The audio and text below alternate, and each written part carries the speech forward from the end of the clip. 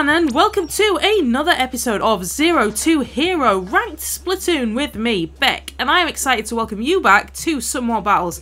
So, currently we are playing through the new um, map, Hammerhead Bridge, and it is tower control. Uh, there is also Moray Towers on the rotation, but we have not seen that yet. And I'm rocking the 96, the 96 gal, not sure. Anyway, we're gonna just jump straight back into controlling the tower. I know I'm not the best at this yet because I'm not like completely au fait with this particular stage, but we are trying to learn, so that is a thing that is happening right now.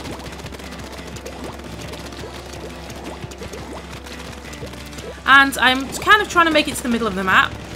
Um, it's so slow. This stupid thing is so flipping slow.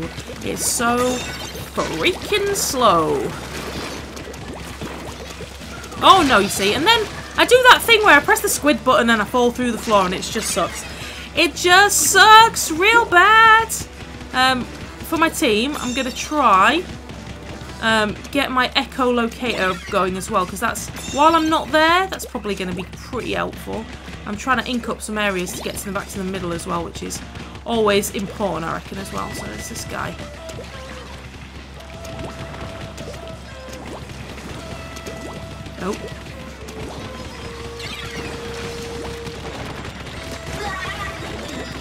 No!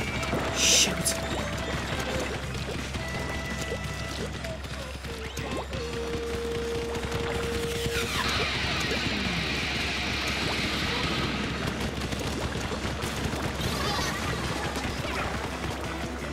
I mean, GG, I took everybody off. Let's get it. Let's go. Get.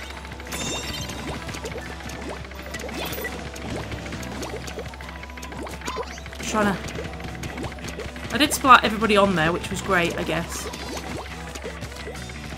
And also... Oh! Well, they've got a, they've got an E-liter, which is never a good thing. They control the tower. Right, well, I'm not having this.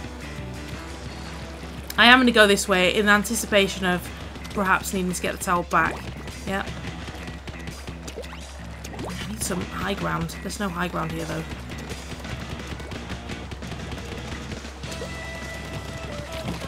I'm claiming this tower for my very own. For my gosh darn own.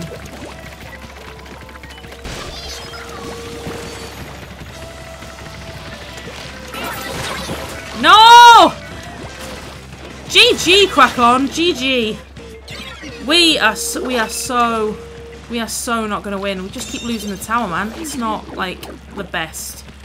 I'm not going to lie, it's not the GG best. Oh! Okay. Not see you there. 52. Maybe the 52 would be better than this one with the long nozzle. I don't feel like... I don't feel like this is the best that I, have got. This, I don't feel like this is... I'm like trying to... GG, man. GG. I know there's guys down here, you know. So...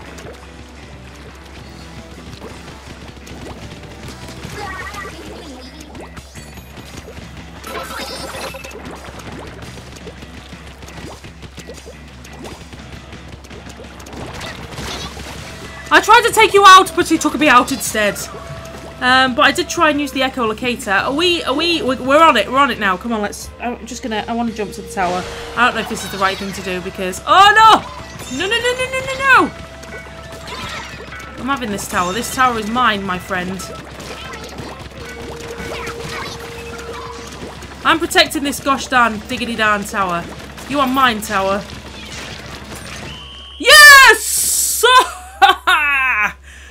Tower is mine. it belongs to me.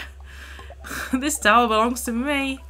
I mean, it's so very random. I don't feel like I know what I'm doing at all, except I'm just like, yeah, dude, I'm just getting on the tower. Um, take people out and get on the tower. See, look, I'm not the best, but I help. I, I must at least in some way help the team. I must in some way at least be helping the team. Please tell me I'm helping the team in some in some small way. Once I find my weapon of choice, I'm just going to be unstoppable. no, I'm not. I really like playing Splatoon, though. I really love playing ranked Splatoon. What Splatoon needs to do, and I know this is probably not going to work, but um, it needs to have a way to play all of these, like all of these. I know you can like do squad um, squad battles or private private room battles where you can play any of these any of these games, but I feel like like on any particular day, you should have a choice to be able to play Rainmaker, Tower Control, Splat Zones, or Turf War because having them all available to you all the time um, would be awesome. Because I love the way that I like.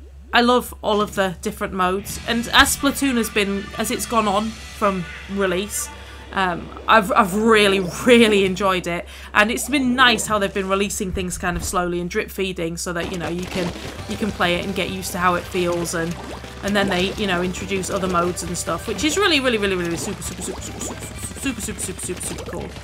Um, but I am initially just going to attempt to help to take out Flaming Tower.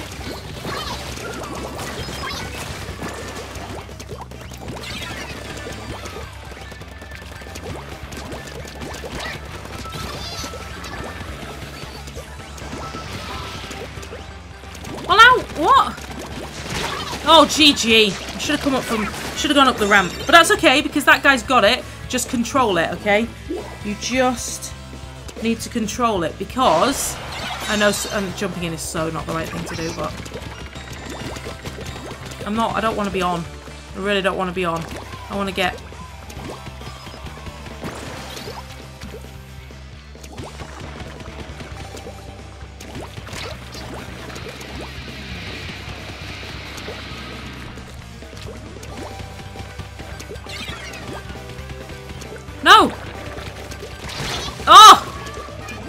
stupid.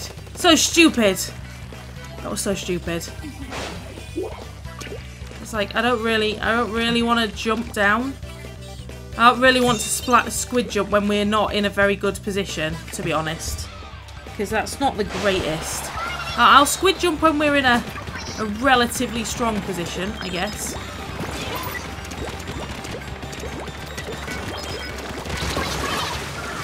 Whoa, that took us all out.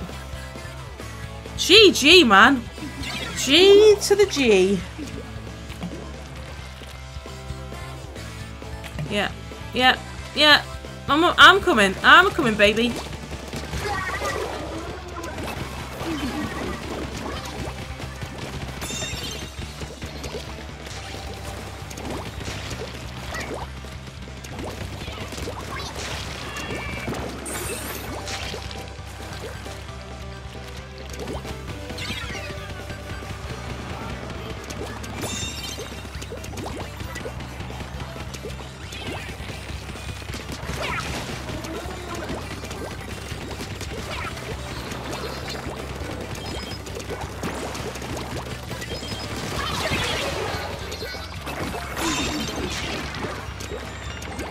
Oh my gosh!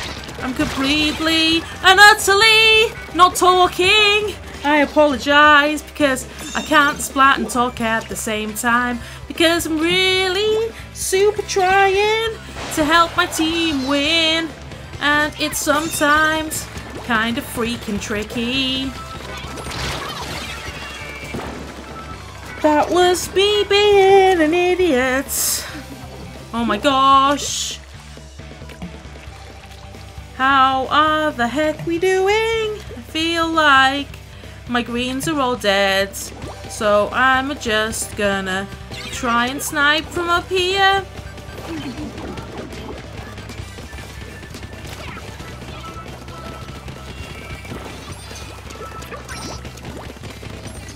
Cause sniping, cause I'm a sniping Mike Snipington.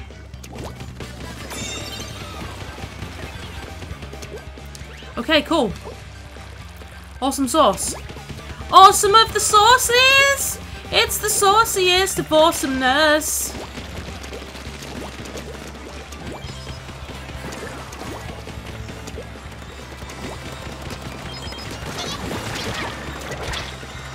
No! Oh, it was a last-ditch attempt. One minute left. What's this? Sudden death. Dang. Damn.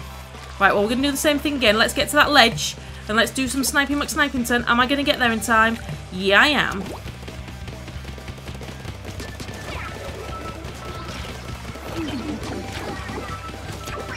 Flipping having it. I'm not. Having it.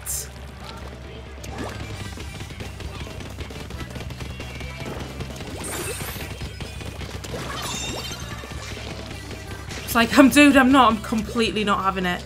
I'm just going to slide this way. See if I can get a little bit of upwards momentum. And again, up here. Let's get up here. Let's snipe. Let's be Snipey McSnipington. Taking that freaking tower back. Because that's what we need to do. We need to take the freaking tower back. I'm all about taking the freaking tower back. And and and being victorious, possibly. I mean, that was not too bad. Do you know what? Tower control is much easier. Moray Towers is much easier on tower control than it is on flipping anything else I've played, Turf Wars or Splat Zones. I guess because you use the you use the height to your advantage, so hopefully you can get into a vantage point and stop that team coming back to you. Oh my gosh! Oh my gosh! I got 10 kills and 6 splats. That was my best so far. Oh my gosh! 5 minute time bonus. Victory plus 3. Oh my gosh. Right, let's go one more. Let's rock and roll for one more, my friends. Let's rock and roll for one more. So, so, so, so, so, what is going to happen? What is going to happen? What is it? I'm, uh, I don't mind. I think I'm, I'm, well, I don't know. I'm not really a judge of how well I'm playing. I think I'm playing moderately well. I feel like I could do better, much, much better. But I also feel like I could be a lot, lot worse. So I'm slowly getting to the hang of my gun. I definitely think this is a hanging back slightly gun. Just so that I can maybe attack people at a bit of range, which is a little bit different to what I'm used to. I'm not gonna lie, it's a little bit different to what I'm used to. But I'm liking it. I'm thinking I think it's cool. Um definitely don't feel I've found my niche gun yet for this. Maybe the Tentatek. I feel like the Tentatek is pretty good because I like how you get into the action, you splat people, you get in their faces. I like that. That's I'm about that. That's what I'm about. I don't mind dying. I don't mind being splatted, but I like to be in the in in in amongst the action. Tentatek spray's not too bad on the floor, but it's got the Inkzooka and the splat and the splat bombs, is it? Which I like as as offensive weapons. Um, Echolocator is cool because it helps my teammates kind of know where everybody is. Um, and Sprinkler is okay, but I think I feel like this would be best for um, splat zones because then you can lob some sprinklers into the splat zone and and, and hope for cover and stuff. I guess maybe. Uh, whereas in tower control, I mean, I guess you can try and put one onto the tower, but it's not gonna I can't see the huge advantage to having a, a sprinkler on the tower itself.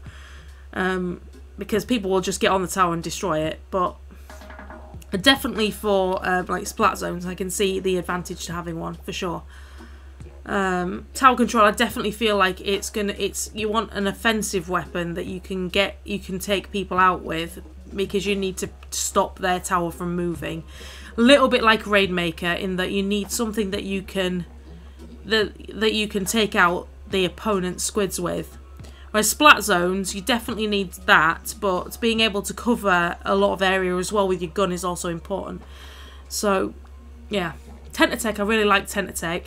Um, and I mean, Splattershot Junior, I, I still stand by the fact that I really like that because the bubbler can be really a, an offensive weapon. So you get the bubbler on, you touch people and you go for it, which could really be useful towards the end of the uh, towards the end of a match for sure. I can't see how the bubbler will be particularly good on tower control because if you put the bubbler on on top of the tower, you just you're just gonna get knocked off. So no, I'm not like a massive fan of that idea at all in any way.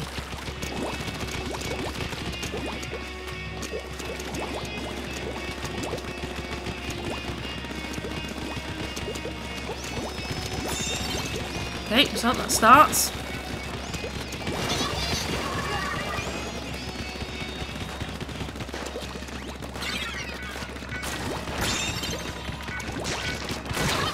Gosh darn it, you dynamo, dynamo. Oh no, it was a carbon roller. Why does it look gold?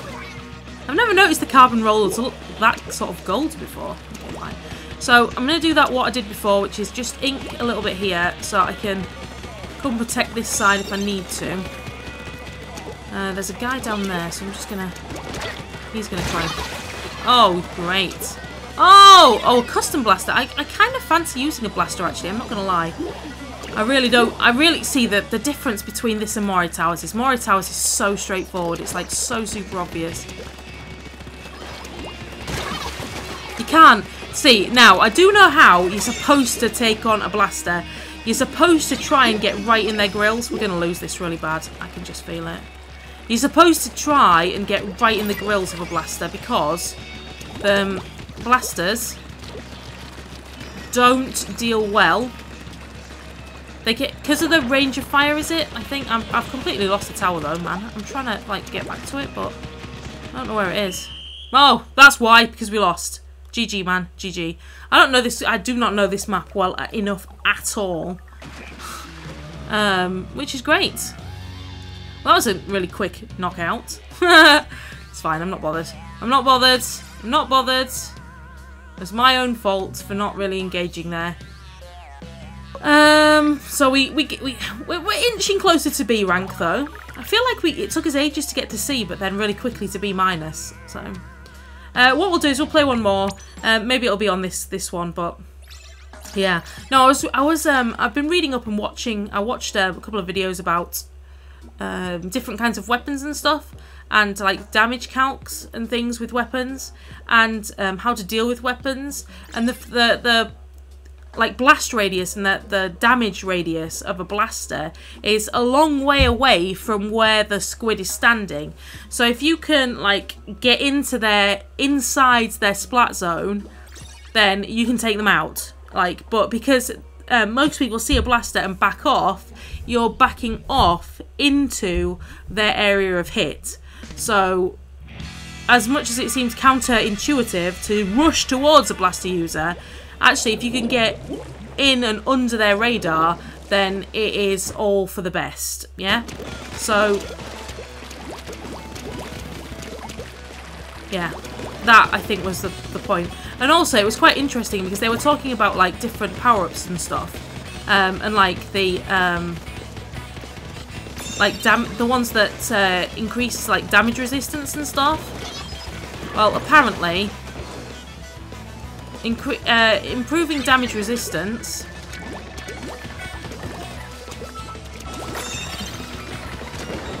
Elita, Elita die. Elita die. You must die. You must die. So must you. How do I do a nice? Nice. Is that that blaster guy? I don't want anything to do with that blaster guy.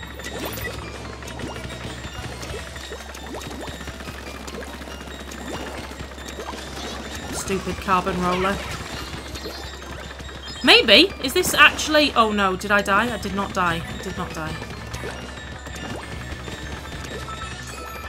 Is this? Is this the time? Oh no. Flipping knocked me off. Yes, we win! Yatta! Yazoo! Bazinga! And all of that good stuff. That was... Well, and that was the opposite of the last game.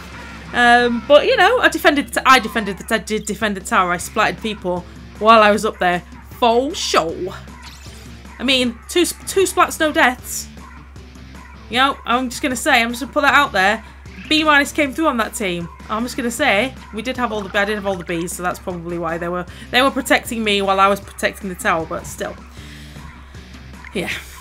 Anyway, so that's that's that's us done. But yeah, no, I was reading about um, the damage, the the um, equipment that boosts damage. So I don't know if I've got any damage resistance. So yeah, like this this this shirt right here, um, it doesn't alter the shots to kill. Um, so if a weapon takes one shot to kill, it has no effect on that at all. So if you're wearing, even if you're wearing a, like that, say if I was wearing this and then the three question marks were all defense, it wouldn't affect a blaster because a blaster it's just a one shot to kill and it doesn't affect shots to kill. So wearing that going up against blasters it's going to make no difference. Um, no discernible difference. But it does matter when it when it um, when you're going up against other things, I think. Or is it the other way around? Anyway, it's to do with the fact that it doesn't alter shots per kill. I could be wrong, but it was interesting. I can't quite remember what they said. but um, it makes it like it depends on who you're going up against as to whether it would be good or not. Um, and they do kind of stack a little bit, but um, so the big shield and the three little shields would like make a different effect, but only to a certain degree as well. Um, it reduces damage, but it doesn't reduce shots to kill. So if it was always going to be a one-shot kill, it will always be a one-shot kill. I think something like that. Anyway, it was really interesting, and if you um if you want to, you can go and look it up on YouTube and watch the videos too. But anyway, guys, I'm going to bring the episode to an end right there. I had a lot of fun. It was pretty cool. We're getting closer to B rank as well, which is awesome. So if you enjoyed the episode, then feel free to bop the, bop the like button and uh, drop a comment below as well. And um, yeah, if you've got any suggestions for weapons and so on and so forth, then please go ahead, drop that too. And I hopefully will see you for the next episode of Zero to Hero really soon. Take care, guys.